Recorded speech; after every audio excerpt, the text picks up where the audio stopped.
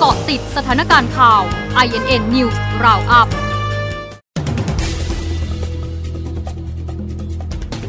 นาฬิกา8นาทีพลเอกประวิตยตั้งคณะกรรมการสอบปมนักการเมืองสอเสือส่งคนสอบแทนปริญญาเอกให้รายงานผลภายใน 14 วัน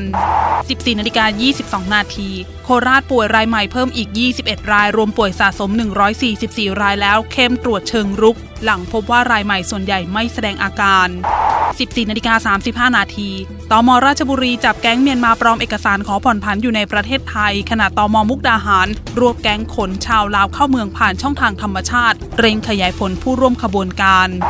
ล่าสุด 14นาฬิก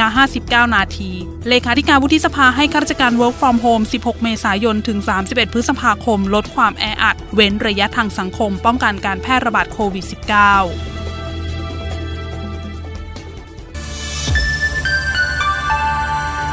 เกาะติดสถานการณ์ข่าว INN News Roundup